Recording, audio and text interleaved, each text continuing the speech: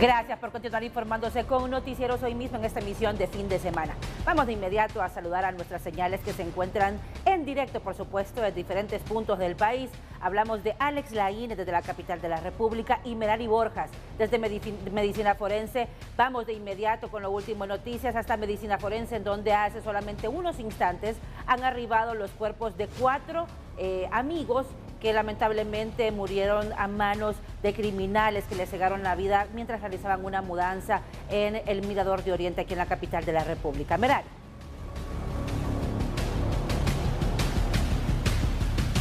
Así es, Claudia y televidentes de Noticieros. Hoy mismo continúo ubicada en el Centro de Medicina Forense para informar a nuestros televidentes acerca de lo que procede ya con el reconocimiento de las personas que fueron lamentablemente encontradas muertas en esta zona montañosa, pero que sea la abogada Lorena Calix, portavoz del Ministerio Público, quien brinda los detalles. Tres del sexo masculino, una eh, del sexo femenino. Según me confirman los, ah, las autoridades forenses, en las próximas horas pues, se va a realizar la autopsia médico-legal de cada uno de ellos. Es importante transmitirle a las familias que este trabajo va a llevar eh, tiempo, en tanto que los cuerpos se encuentran desafortunadamente en un avanzado estado de descomposición y esto eh, obliga a las autoridades forenses a ser muy minuciosos en los protocolos y procedimientos que ya están eh, diseñados para la identificación de cadáveres. Entendemos que ha sido días terribles para las familias, de mucha angustia, pero legalmente nosotros estamos obligados a darle respuesta también a las autoridades, ya que este dictamen médico legal de autopsia es muy, importante para el de investigación que eh, la Fiscalía Especial de Delitos contra la Vida está llevando, eh, luego que las personas sospechosas de haber participado en estos hechos ya están con una medida de detención en razón de otros delitos. Por lo tanto, creo que eh, nosotros nos estamos ocupando ya de la situación y esperamos que hoy en el transcurso de la noche se entreguen los primeros cuerpos.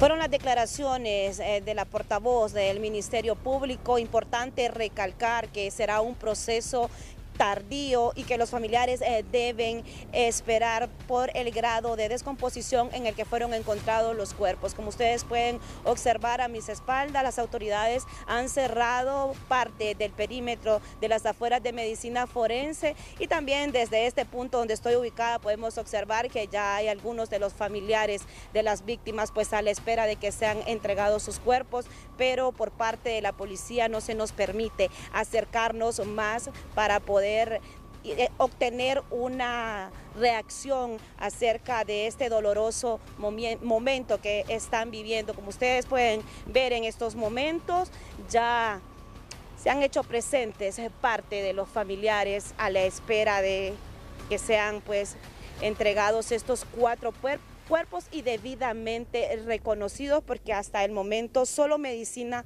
forense es la única persona que puede determinar de quiénes se tratan los cuerpos encontrados y es un proceso que se está llevando a cabo, según nos mencionó la licenciada Lorena Calix, esto podría durar durante toda la noche y sería en horas tempranas que ya estarían finalizando con este proceso y terminando pues con esta eh, zozobra para los familiares de estas cuatro víctimas mientras se continúa la búsqueda de la quinta persona desaparecida. A esta hora de la noche es lo que podemos informar desde Medicina Forense acá en la capital.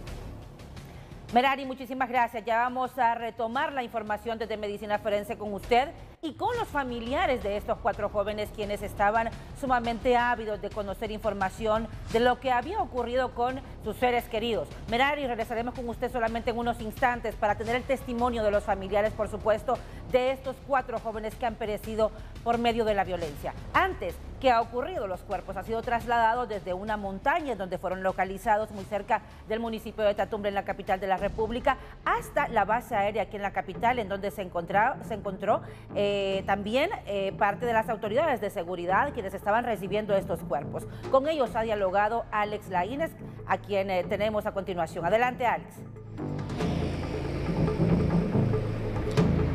Un gusto saludarle, Claudia Almendares. Específicamente 10 kilómetros sureste del municipio de Tatumbla, Francisco Morazán, fue donde se dirigieron los dos vuelos del helicóptero de la Fuerza Aérea Hondureña para hacer el traslado de estos cuatro cuerpos de las eh, cinco individuos que habían desaparecido en la ciudad capital y usted ya ha detallado.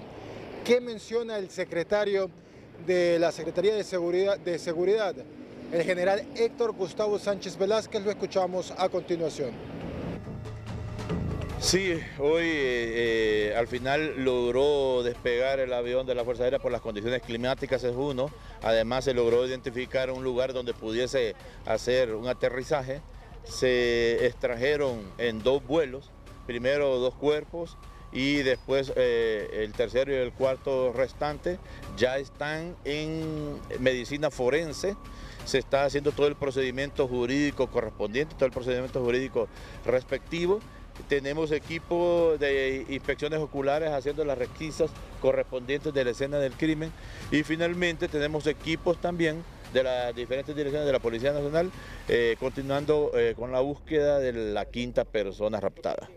Nosotros capturamos eh, cinco personas desde el segundo día, eh, capturamos cinco personas, la investigación está abierta, vamos a recibir el informe de inspecciones oculares, las requisas de la escena del crimen que están realizando, los indicios que se puedan encontrar, igualmente eh, la autopsia va a ser determinante para encontrar eh, algunos indicios más y fundamentar toda la investigación. En este momento nosotros tenemos las suficientes evidencias y pruebas que relaciona a, estos cinco miembros de la estructura criminal Pandilla 18 con los jóvenes raptados, los cinco, y con los cuatro asesinados.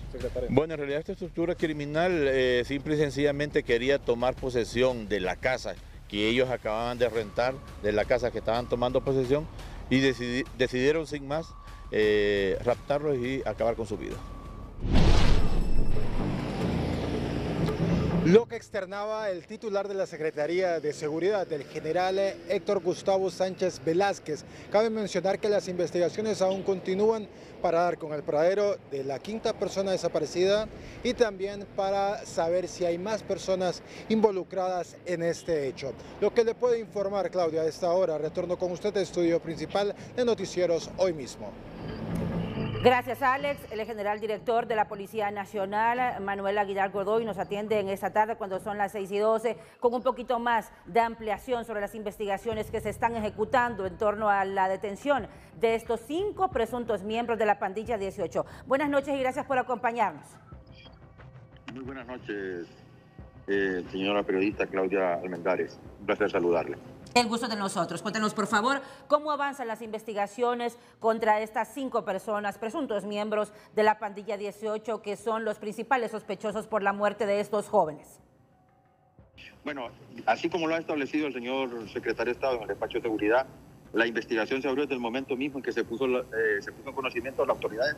Hay un protocolo que no esperamos la denuncia y una vez que sucedió el hecho nos informaron y nos dimos cuenta a través de redes sociales y empezamos a hacer la investigación del caso. Eh, hicimos un menón de patrullajes informáticos y encontramos una página de internet en la cual se alquilaba la vivienda.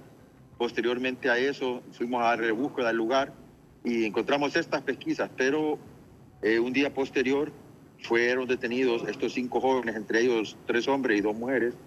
Los mismos portaban droga y fueron remitidos al centro penal por andar eh, con estupefacientes. Eso fue la causa, pero la sorpresa de nosotros fue mayúscula cuando el día miércoles encontramos el vehículo y una vez encontrado el vehículo encontramos un agua hemático en el mismo, así como otros indicios que nos aseguraban que los menores habían, lastimosamente los jóvenes habían muerto. Pero eh, encontramos después otras, otros indicios, como dijo el señor ministro, un teléfono celular, eh, las llaves del vehículo y posteriormente Usted sabe que estuvimos haciendo una planificación en la colonia Villanueva, sector 8, mejor conocido como el Zancudo. Sí. Esto era una forma de cómo mandar un, mensaje a estas pandillas y de ahí nos trasladamos directamente a esta colonia que, que se llama Brisas de Oriente. Y una vez que llegamos ahí empezamos a hacer las diligencias, eh, le dimos detención a, a otros individuos y ya empezamos a sacar toda la información necesaria y ya nos dimos cuenta cuál, había sido el hecho. Estos jóvenes habían alquilado la casa, llegaron al lugar de los hechos, entraron a la vivienda, dejaron un viaje, después volvieron a salir y en el segundo viaje tuvieron encontronazos porque estos muchachos habían hecho un desplazamiento forzado al propietario de la vivienda.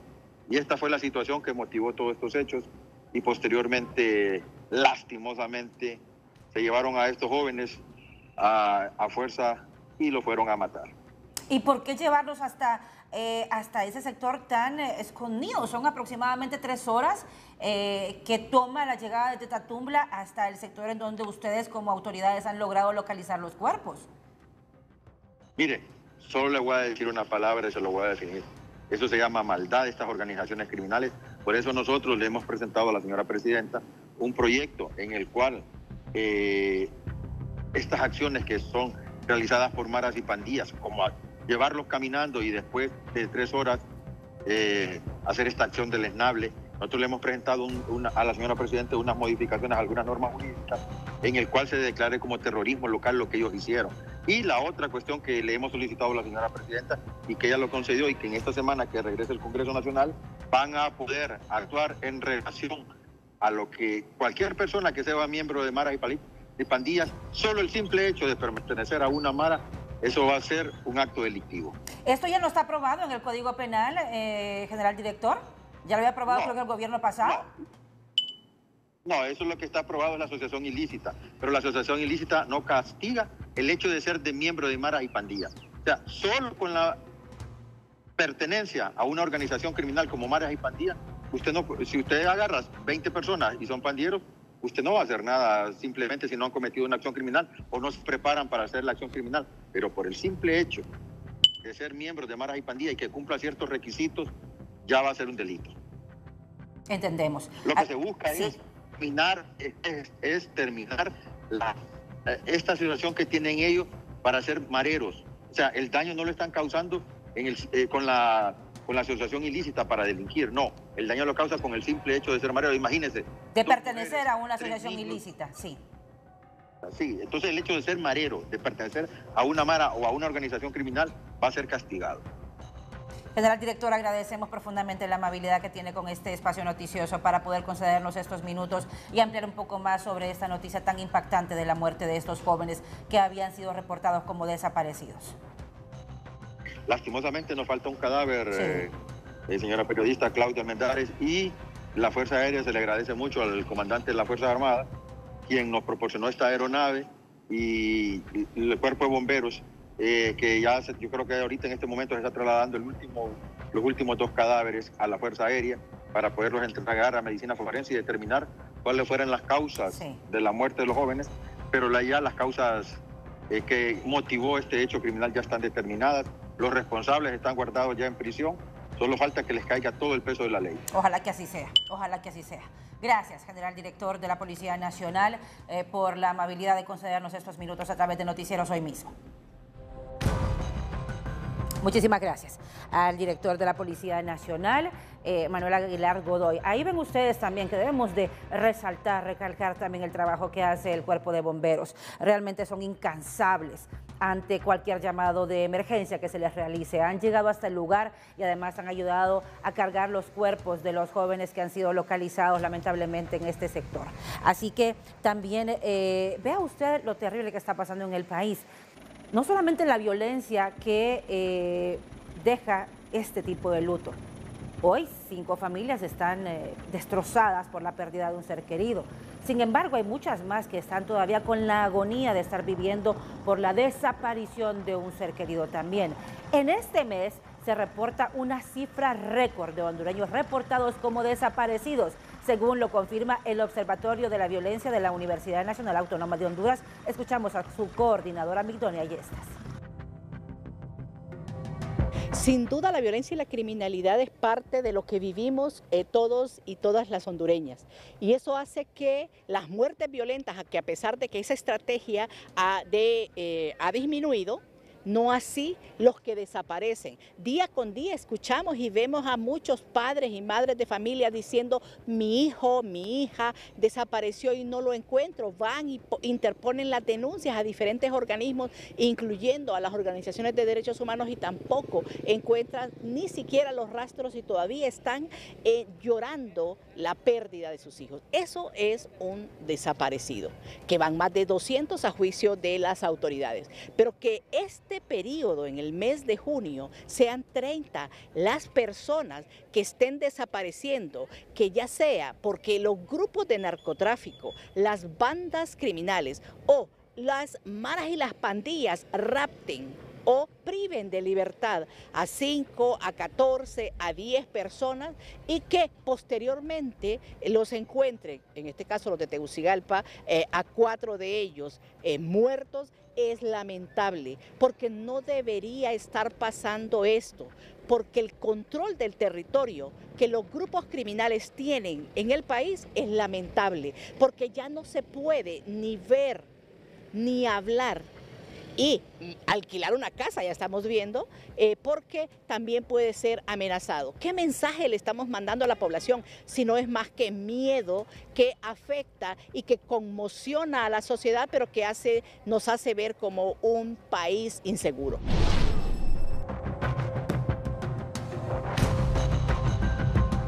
Bien, era Migdonia Ayestas, quien es la coordinadora del Observatorio de la Violencia de la Universidad Nacional Autónoma de Honduras.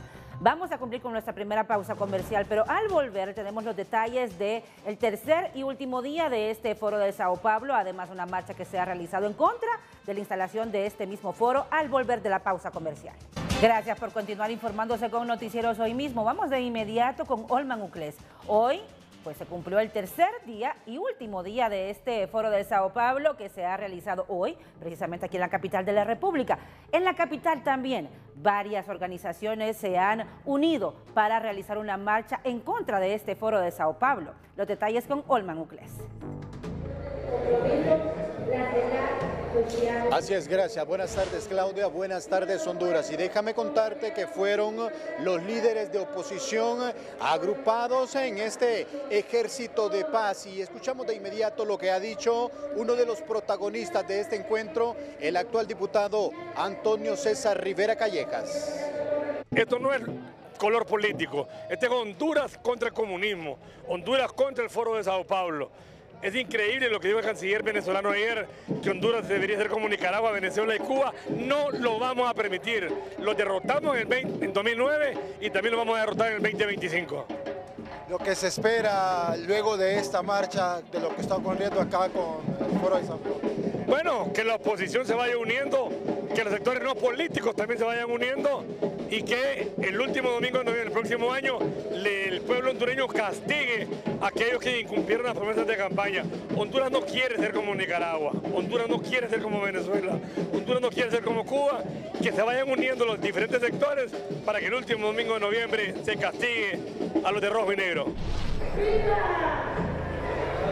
Era lo que decía el diputado de oposición Antonio Rivera Callejas en relación a la oposición a este evento del Foro de Sao Paulo, pero también en una rápida reacción. El secretario de la presidencia, Héctor Manuel Zelaya, les ha recordado a los sectores conservadores que en las elecciones del 2021 el pueblo les mostró un rotundo rechazo. Escuchemos. Los conservadores le tienen miedo a discutir las ideas, le tienen miedo a discutir sobre el futuro. Por eso se llaman conservadores, quieren conservar las cosas así como están. Y estos foros vienen a desafiar esa mente retrógrada que viene a decirles que el mundo ya cambió y que Honduras está cambiando y que tenemos ahora un pueblo organizado y fuerte que está decidido a tomar las riendas del futuro del país. ¿Hay resistencia a saber que hay un nuevo gobierno de corte izquierdista y socialista en el país? No, la resistencia la hacemos nosotros. Eh, la resistencia la estamos haciendo para que ellos se den cuenta que estamos haciendo una lucha por cambiar el rumbo del país, que no se acepta los últimos 30 años, 40 años en el país, que eh, los resultados de las elecciones del 2021 del noviembre fue un rechazo rotundo a esas políticas y que ahora estamos organizando y estructurando el movimiento más grande de la historia de Honduras que llevará a un segundo triunfo. Escuchamos al secretario privado de la presidenta Xiomara Castro, Héctor Manuel Zelaya, quien le ha recordado a la oposición que fueron rechazados rotundamente en las elecciones del año 2021. Compañeros, con ustedes. Y por supuesto las noticias continúan, pero antes vamos a una pausa comercial. Ya volvemos. Gracias por continuar informándose con nosotros. Mire, esta bella ciudad del país, hablamos de San Pedro Sula, se encuentra de fiesta. Y quienes están acompañando esta gran celebración de San Pedro Sula y esta feria juniana es Kenia Chinchilla y mi compañero, mira, Jason Maldonado. Están emocionados, están celebrando y por supuesto están disfrutando todo el ambiente en San Pedro Sula. Muy buenas noches, compañeros. Cuéntenos qué pasa en San Pedro Sula con esta feria juniana que apoya, por supuesto, Televicentro, Emisoras Unidas y que desde ya, por supuesto, sabemos que vamos a disfrutar en esta noche. Buenas noches. Para la garganta, así como para nosotros, Páguenos para la garganta porque ya y todavía nos falta muchísimo, Carroza. Hola, hola, hola. Estamos aquí en el desfile de carrozas de la Feria Juliana 2024. Y como la promesa era de que Jason iba a bailar, pero ya vamos a poner a bailar. Buenas noches, una fiesta lo que se está viviendo esta noche. Estamos felices y contentos, Kenia, porque eso ha sido espectacular hasta este momento.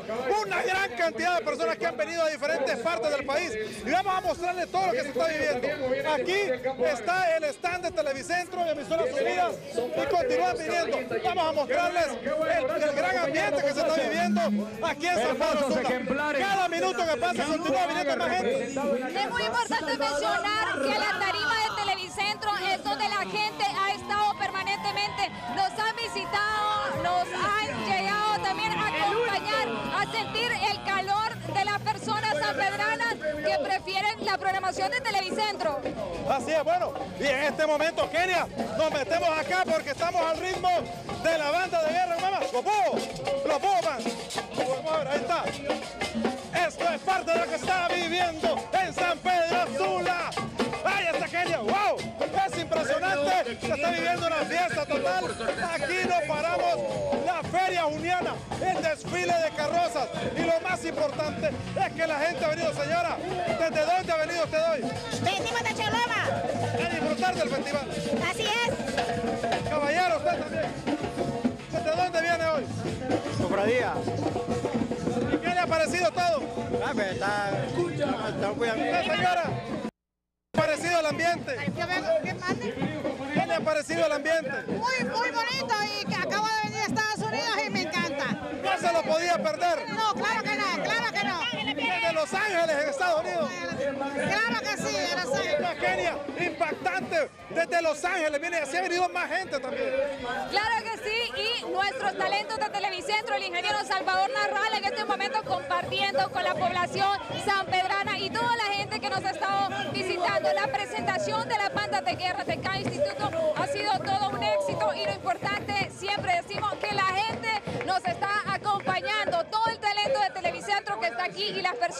que nos están acompañando. Vamos a compartir un poco con la banda de guerra que está haciendo su presentación. Bueno, vamos aquí Gerardo, porque la banda de guerra, en este momento aquí hay ambiente, aquí hay show, aquí estamos en fiesta. Escuchamos a continuación parte de lo que se está viviendo aquí en Búhos. Escuchamos un poco del ambiente que se está viviendo aquí en San Pedro.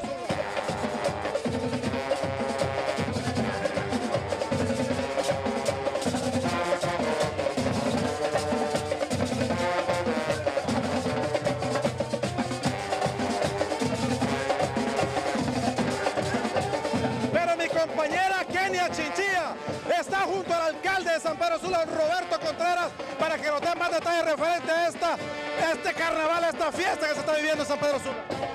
Gracias Jason, así es, alcalde, una verdadera fiesta sanpedrana se ha vivido hoy. Gracias Kenia, estamos totalmente alegres la familia ha salido a disfrutar de este hermoso desfile de carrozas y el día de ayer pues la sacamos del estadio con la Sonora Dinamita, más de 10 mil personas en el campo Patria Maratón y ahora vemos las bandas y lo que son las carrozas.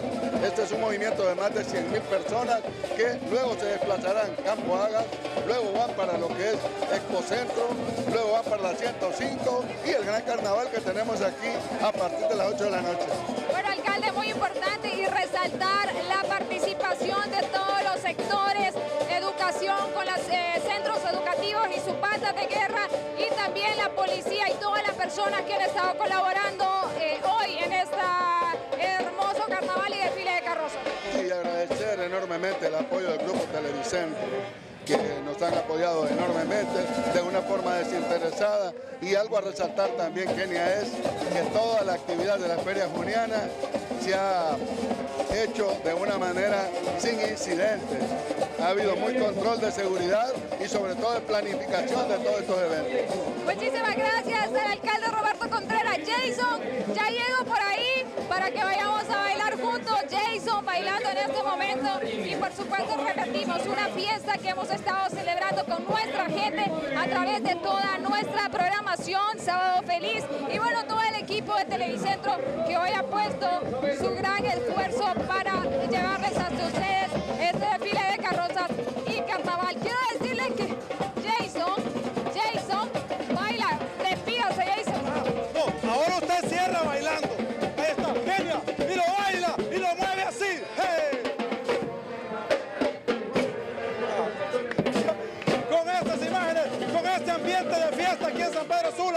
Continuación vamos a una pausa comercial.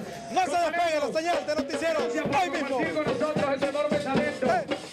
Es un privilegio. Hay de celebraciones a celebraciones. Veíamos hace unos instantes la de San Pedro Sula. Ahora veremos la que está ocurriendo en el occidente del país, particularmente en la zona de Copán, en donde allá se celebra también el Guacamaya Fest. Por supuesto, siempre apoyando Televicentro y Emisoras Unidas. Vamos de inmediato con Ramón Rojas con toda la información de este importante evento. Adelante, Ramón. ¿Qué tal? Buenas tardes, Claudia Almendares. Amigos televidentes de Noticieros, hoy mismo edición fin de semana. Me encuentro con el comisario Villalobos. Se garantiza la seguridad para este fin de semana para eh, turistas nacionales y extranjeros que están aquí en Copán Ruinas. Buenas tardes, señor. Bienvenido a Noticieros hoy mismo. Muy buenas tardes, tenga toda su teleaudiencia en estudios. En efecto, la Policía Nacional, ¿verdad? A través de la Unidad Metropolitana número 24, se encuentra pues realizando diversas operaciones policiales de eh, prevención y disuasión, ¿verdad?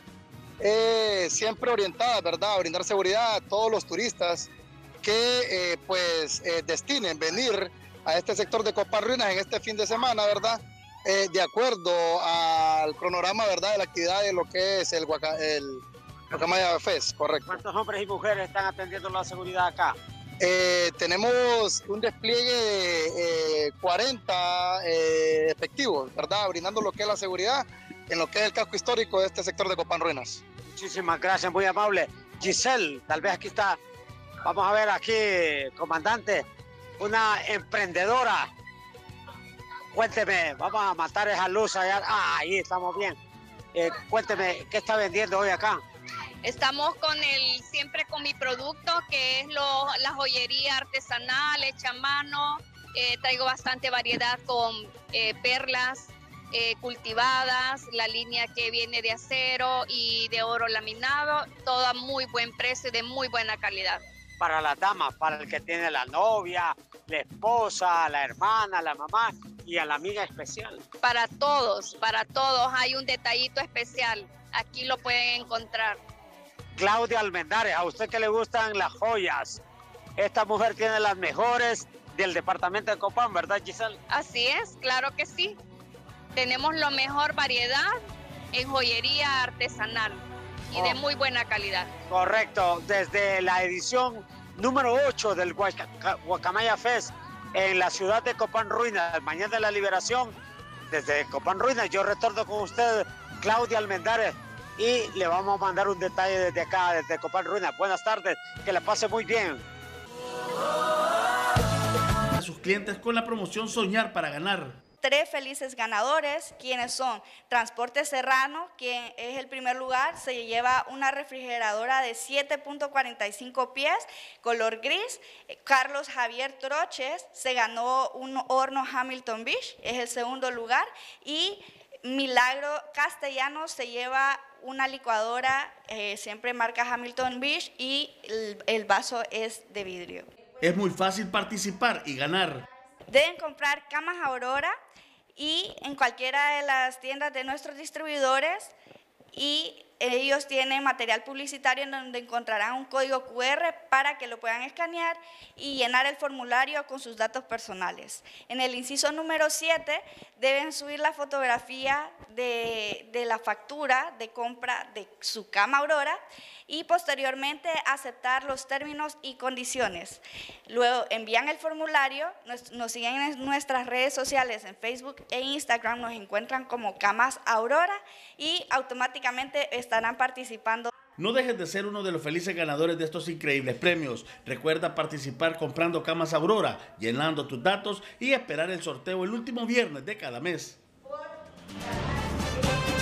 hoy mismo vamos con más noticias, noticias importantes, noticias positivas con Alex Laínez, puesto que se ha ya inaugurado un nuevo centro hospitalario del país, que por supuesto vendrá a beneficiar a los hondureños. Alex Laínez, buenas noches con estas buenas noticias.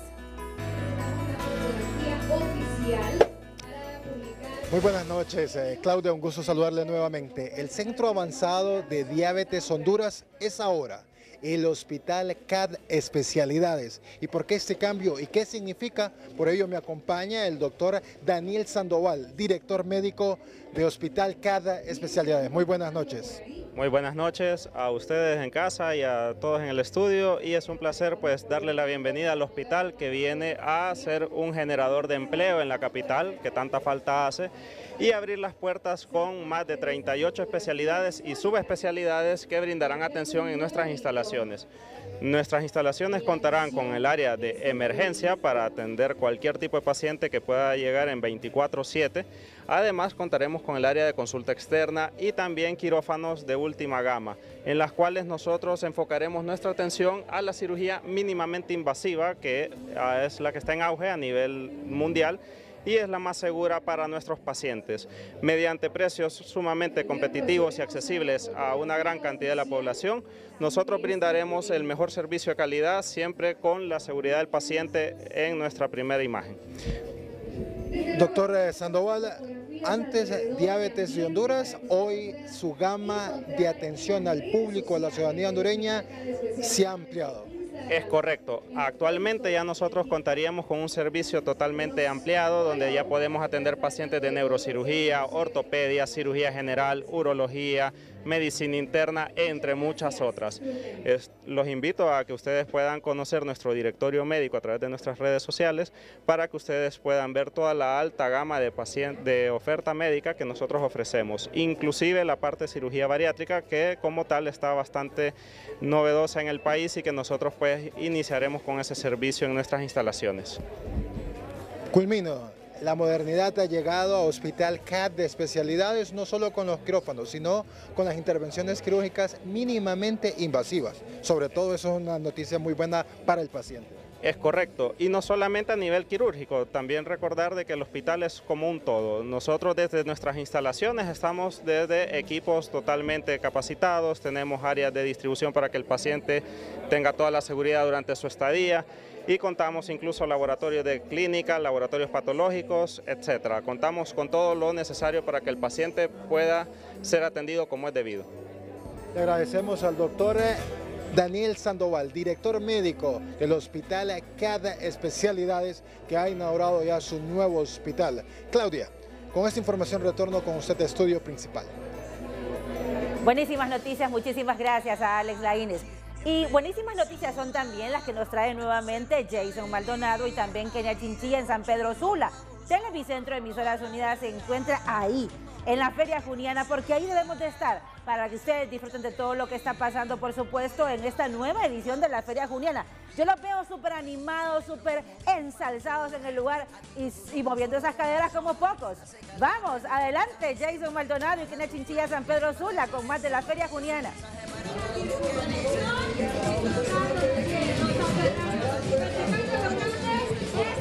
Muchísimas gracias. Continuamos aquí desde el desfile de carrozas junto a Kenia Chinchilla, una fiesta total.